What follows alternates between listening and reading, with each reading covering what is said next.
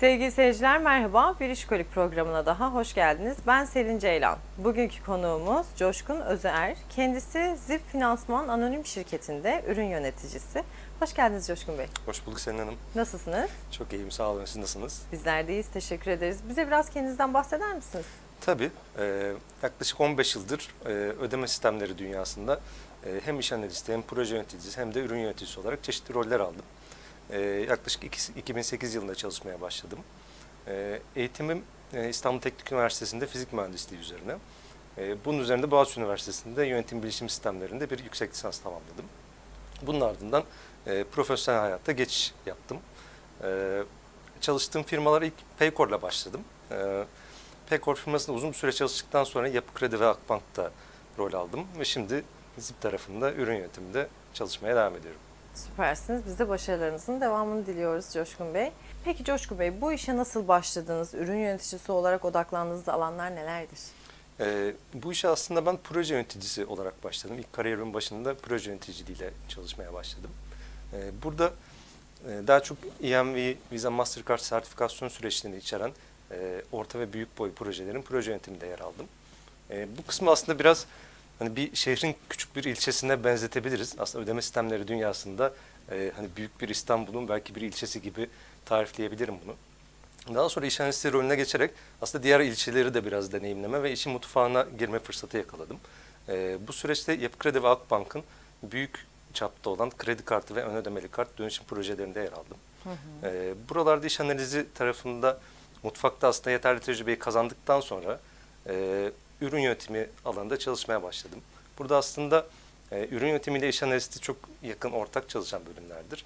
E, temel olarak şöyle bir farktan bahsedebilirim. Aslında odak noktaları farklıdır. İş analisti kararı verilmiş bir işin nasıl yapılacağına odaklanırken ürün yöneticisi hangi iş yapacağımıza ve e, müşteri deneyimini nasıl iyileştireceğimize, müşteriye nasıl daha iyi bir ürün sunacağımıza odaklanan kısımlardır. Temelde bu iki farktan bahsedebilirim. E, bu süreçte tabii her ne kadar çalıştığımız e, ürünlerin birebir içeriğinde çok detayında olsak da aslında ben biraz kendimi bir e, ödeme sistemleri e, profesyonel olarak tanımlıyorum. Yani burada kredi kartı kullanmak, ön ödemeli kart kullanmak, cüzdan kullanmak veya bireysel kredi kullanmak, alışveriş kredisi kullanmak bunların hepsi bir araç. Aslında önemli olan burada müşteriye onun ihtiyacını çözecek sunumu vermek. Hı hı. Peki bize ZIP'ten ve e, şimdi daha sonra da çözümlerinizden de bahseder misiniz? Tabii. E, Zip yeni bir şirket Türkiye açısından ama dünyada biraz daha eski bir şirket. Bir Avustralya markası. E, Avustralya'da ve Yeni Zelanda'da yaygın olarak kullanılıyor. Ayrıca e, Amerika'da da yaygın olarak kullanılan bir ürün. E, Türkiye'deki e, aslında nadir şimdi daha sonra da çözümlerinden biri ama dünyadaki en büyük 10 şirketin arasında bu açıdan. Yaklaşık e, 300 milyon dolar kadar bir e, cirosu var. Aslında Avrupa'da da yakın zamana kadar aktifti ama stratejik bir kararla Avrupa pazarlarından çıkmaya karar verdi. E, Türkiye'deki e, operasyonu devam ediyor. Burada Avustralya firması ve girişim sermaye fonunun ortaklığı olarak e, faaliyette. Yaklaşık bir buçuk senedir canlıda ürünümüz var. E, sunduğumuz çözüm alışveriş kredisi. E, alışveriş kredisini şöyle tarif edebilirim. BDDK'nın e, BDDK tarafından lisanslanan bir şirketiz biz. E, tüketici finansmanı şirket olarak tanımladığı şirket grubundayız. E, alışveriş anında yani müşterinin satın alma anında bir finansman çözümü sunuyoruz. Bir bankadaki ihtiyaç kredisinden farkı da bunun e, müşteriye hiçbir zaman nakit bir kredi verilmiyor olması. Aslında alışveriş burada e, sizin kredi kartında yaptığınız gibi e, müşteri olarak elinize para değmiyor ama iş yeri e, bizim üzerimizden ya da kredi kartında olsaydı banka üzerinden kendi ödemesini alıyordu. Bunun birebir aynısı diyebilirim. Peki Türkiye'de şimdi daha sonra ödeme yönteminin geleceği ve regülasyonunun e, bize bu sektördeki getirileri neler olur? Ee, şimdi daha sonra da seçeneği Türkiye'de e, aslında şu an e, pazar olarak baktığımızda sadece şimdi daha sonra diye değil leasingi de katarak söylersem ödeme sistemlerinin şu an e, yüzde birine bile tekabül etmiyor diyebilirim. Aslında daha burada çok ciddi bir gelişim alanı var. Ama bunu biraz Avrupa'yla e, ve dünyayla kıyaslayarak da anlatmak isterim. E, Türkiye'deki hem ekonomik durum hem pazar hem de regülasyon Avrupa'dan ve dünyadan biraz farklı. Ee, aslında şimdi daha sonra ödeme çözümü dediğimiz çözüm Türkiye'de çok eski. Yani 90'lı yıllarda e, enflasyonist ortamın bir anda e, hayatımıza çok sert bir şekilde girmesiyle başladığı bir dönem. E, burada kredi kartları üzerinde aslında şimdi daha sonra ödeme çözümü hayata geçti. Dolayısıyla Türkiye pazarı için bu çok tanıdık bir çözüm. E, ama Avrupa'da ve Amerika'da e, Türkiye'dekinden çok daha büyük pazar olmasının sebebi kredi kartlarında böyle bir çözüm yok. Dolayısıyla e, Türkiye tarafı için alışveriş kredisi biraz yeni bir model ama taksitlendirme aslında çok eski bir durum. E, haliyle Türkiye'de bunun geleceği e, özellikle yakın vadede biraz daha güçlü olacak. Bunun birkaç tane sebebi var. E, bu da kredi kartına karşı sahip olduğumuz bazı avantajlar. Bunlardan şöyle bahsedebilirim. E, kredi kartı e, şu an bazı ürünlerde yasal olarak taksit kısıtlarına sahip. Belki yakın zamanda biraz daha fazla taksit kısıtı geldiği zaman burada biraz daha roller değişecek. E, dolayısıyla alışveriş kredisi burada bir avantaj sağlıyor. Bugün 12 bin TL üzerinde bir cep telefonu almak istediğinizde kredi kartına bir taksit imkanı yok. Ama alışveriş kredisi olarak var ve biz ZIP olarak e, bunu önceden bir başvuru yapmadan ve bizim zaten bir şubemiz yok. Şubeye veya herhangi bir yere gelmeden mağaza içinde anında müşterimiz olup kredi kullanabildiğiniz bir modelde sunuyoruz. Dolayısıyla kredi kartına karşı burada ciddi bir avantajımız var ve aynı zamanda e, taksit kısıtı olan ürünler haricinde daha uzun, daha esnek vadeler sunabiliyoruz. Peki herkes bu e, durumdan faydalanabiliyor mu? Tabii ki e, Türkiye Cumhuriyeti vatandaşı olan herkes e, bizim hizmetimizden faydalanabiliyor. Bunun için sadece e, biraz alışveriş kredisiyle ihtiyaç kredisini karşılaştırmam lazım detaya girmek gerekirse. Alışveriş kredisi e, kullandırabilmek için bizim anlaşmalı bir iş yerimizden alışveriş yapmanız gerekiyor. Yani herhangi bir iş yerinden Olmuyor. müşterisi olamıyorsunuz.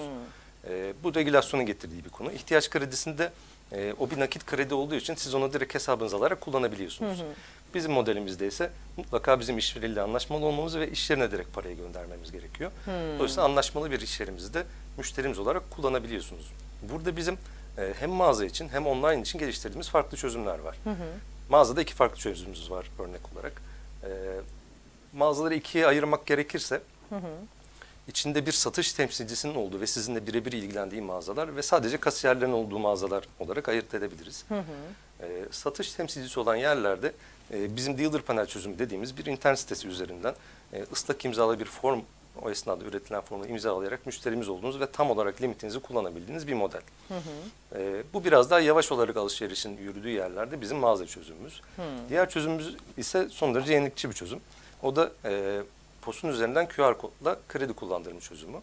Bu sadece kasiyerin olduğu yani hızlı bir alışverişin olduğu noktada kredi kartı deneyiminin birebir aynısını sunduğumuz bir yöntem. Burada sadece önden müşteri olma adımlarını tamamlamış olmanız gerekiyor. Ee, birazdan ona da değinirim. Müşterimiz olan kişiler POS üzerinde BKM, BKM QR'ı kullanarak e, direkt çok kısa bir süre içerisinde bir 10-15 saniye içerisinde e, taksitlendirme işlemini, işlemini tamamlayabiliyor. Ve bu işlem iş yeri açısından aslında peşin bir işlem.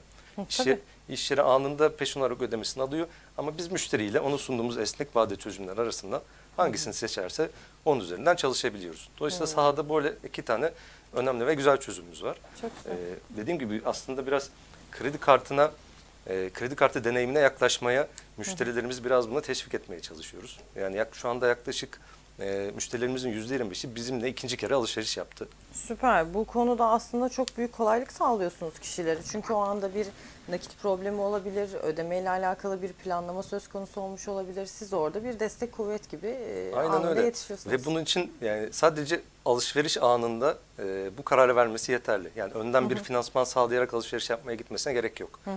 Alışveriş yaptığı yerde bu çözümle karşılaşıp sadece 5 dakika içerisinde müşterimiz olarak sorununu çözebiliyor. Evet. Bu açıdan da bir aslında kamu menfaati sağladığımızı da söyleyebiliriz. Çünkü e, hem işleri açısından hem müşteri açısından burada alışverişin olmama, gerçekleşmeme ihtimali yüksek. Ee, peki Coşkun Bey, e, bu durumdan faydalanabilmek için kriterleriniz nelerdir? Kişilerin e, yetkinlikleri mi, hesap durumları mı, e, kimler faydalanabiliyorlar? Ee, biz BDK lisanslı bir kurum olduğumuz için aslında kredi kayıt bürosundan, KKB'den sorgu yapabiliyoruz. Dolayısıyla bir bankanın kullandığı e, tahsis stratejilerin çok farklı bir durumu yok bizde de. Ama şart olarak şartlarımız çok basit. 18 yaşından büyük Türkiye Cumhuriyeti vatandaşı olmak. Bu kadar. Başka bir şartımız yok. Bunun haricindeki konu sizin e, Türkiye'deki finansal sistemdeki e, finansal durumunuz. Bunu değerlendirerek bir karar veriyoruz. Tamam süper. Peki Avrupa ve dünya e, dünyada ödeme sistemlerinin güncel olarak odak noktaları ve gelişim alanları nelerdir? Bununla ilgili de bize bilgi verirseniz çok seviniriz. Tabii ki. E, ve orta uzun vadede sektörde ne gibi yenilikler bizi bekliyor? Ee, şu anda aslında hem Türkiye'de hem dünyada açık bankacılık çok e, sıcak bir gündem. E, Türkiye'de de yasalar buna uyumlanmaya başladı. Dünyada zaten hem Avrupa'da özellikle İngiltere'de e, bu kısımda biraz daha önden gidilen bir durum var. Biz birkaç sene daha onların gerisindeyiz diyebiliriz. E, ama Türkiye'de e, özellikle bankaların bu konuda iştah sahibi olmasıyla biraz daha ilerlemeye başladı. Açık bankacılık temel olarak nedir ve bize ne getirecek aslında? Çok basit bir örnekle anlatmak gerekirse e, açık bankacılık artık müşteri verisinin, müşteri datasının sahibinin müşteri olduğu kuralını getiriyor. Yani eskiden bir X bankasından e, para transferi ya da başka bir işlem yapacağınız zaman o X bankasının kanalına gitmek zorundaydınız. Onun şubesi, onun mobil uygulaması veya onun web sitesi. Açık bankacılık artık third party uygulamalara bu yetkiyi veriyor. Tabii ki o uygulamaların da o firmaların da bir lisans sürecinden geçmesi lazım ama e, siz X bankasındaki işleminizi başka bir uygulama üzerinden yapabiliyorsunuz. Bu çok devrimsel bir karar. E, aslında söyleyince bunu hani ilk olarak faydasının ne olduğunu anlayamıyoruz ama uzun vadede, hatta uzun vadede demeyeyim çok orta vadede şöyle bir durum olacak. E, dünyadaki şimdi daha sonra ödül çözümlerine baktığımızda işte Klarna, Affirm, e, Sizzle bunun gibi çözümlerin hepsinde e, firmaların hiçbiri banka değil. Hmm. Kredi veriyorlar ama banka değiller. E, dolayısıyla bu aslında bize şunu getiriyor. Hmm, Odak olarak müşteriyi e, sadece müşteriyle aynı zamanda iş yerinde düşünerek çok daha farklı modeller geliştirilebiliyor. Aslında açık bankacılık da tam olarak bunu getirecek. Yani bir krediyi servis olarak sunan bir bankayı aslında bir third party bankanın hizmetini kullanarak çok farklı bir deneyim olarak müşteriye sunabilecek. Açık bankacılığın en temel getirisi bu. Bu aslında çok uzun vadede olmayacak. Yani birkaç sene içerisinde bununla ilgili değişiklikler göreceğiz. Bunun haricinde göreceğimiz başka değişiklikler de var. Bu açık bankacılık e, kanallardan bir tanesi. E, diğeri e, bunun aslında şeyi de bağlamak isterim. Şimdi al sonra ödül çözümlerinin her zaman bir geleceği var. Türkiye'de biraz daha fazla var. Çünkü Türkiye genel olarak bir taksit ülkesi. Yani Seviyoruz. Türkiye'de bir 10 sene enflasyon dursa bile insanlar taksitli alışverişten vazgeçmiyor. Yani bu dönemsel bir davranış değil, e, artık bir alışkanlık. Dolayısıyla bu yöntem hep devam edecek. E, dünyada biraz daha yayılmaya devam edecek. Çünkü dediğim gibi bu fintech dediğimiz kuruluşlar, finansal teknoloji kuruluşları çok daha iyi deneyimler sunuyor. Sunarken bazı arkada cüzdan kullanıyor, bazı alışveriş kredisi kullanıyor. Çeşitli modellerle e, işlerini ilerletebiliyorlar. Dolayısıyla burada yenilikçi bir şeyler göreceğiz. E, şimdi daha sonra öde çözümlerinde yenilikçi bir şeyler göreceğiz. Ama tek kaygı e, müşterinin taksit ihtiyacını çözmek de değil. Aynı zamanda e, Avrupa'da biraz daha yoğun bu talep ama Türkiye'de de hala çok canlı. E, ödemenin daha pürüzsüz, daha güvenli, daha hızlı e, ve daha teknolojik olması. Bu, bu da aslında çok önemli bir ihtiyaç. Türkiye özellikle 2000'li yılların başında bu konuda çok öncüydü. E, NFC anlamında, temassız kartlar anlamında, HC dediğimiz NFC'nin Google bulutundan çalışan haliyle de e, aslında dünyada çok öncü bir yerdeydi. E, şu an burada biraz öncülüğümüz biz regülasyon sebebiyle kaybeder durumdayız. Buna ek olarak tabii PayPal ve Apple gibi çok büyük oyuncuların da sektörün dışında, Türkiye'de sektörün dışında kalması da rol oynuyor. Ama bu oyuncular da Türkiye'ye girerse veya girmese de dünya üzerinde şunları hala biz görmeye devam edeceğiz. Biraz e, giyilebilir teknolojilerdeki kullanım artacak. Yani işte e, telefon dışında saat, gözlük gibi kullanımlar artacak. E, bunun yanında ben biraz biyometrik teknolojilerin de daha fazla dahil olmasını bekliyorum. Yani işte el izi, damar izi, e, göz okuma bunun gibi teknolojilerin de yakın zamanda işin içine girmesini bekliyorum.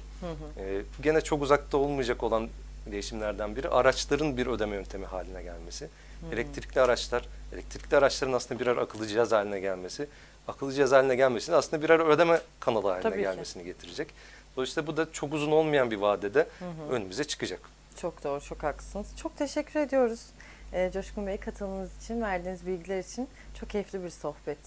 Bundan sonrası için de umarım her şey gönlünüzce olur. Başarılarınız daim olsun. E, ben de çok teşekkür ederim. Çok güzel bir sohbet oldu. Sevgili seyirciler bir programımızın daha sonuna geldik. Sevgili Coşkun Özeer bizlerleydi. Bir sonraki programda görüşmek dileğiyle. Hoşçakalın.